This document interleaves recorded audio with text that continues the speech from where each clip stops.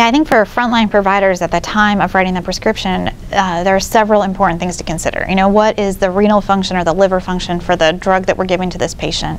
And what is the best drug in this patient that's going to minimize toxicities, if that is possible? And then also to be sure that we are dosing it in a way that will maximize effectiveness. So for some drugs, that's giving more frequent doses than lumping a whole uh, dose together once a day. And for others, we can optimize killing by giving drugs less frequently in higher doses and giving them drug-free intervals to minimize toxicity.